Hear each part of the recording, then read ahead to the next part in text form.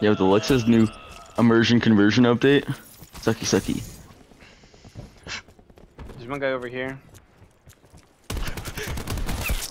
Does she What? convert my dick from inches to millimeters to make it seem bigger?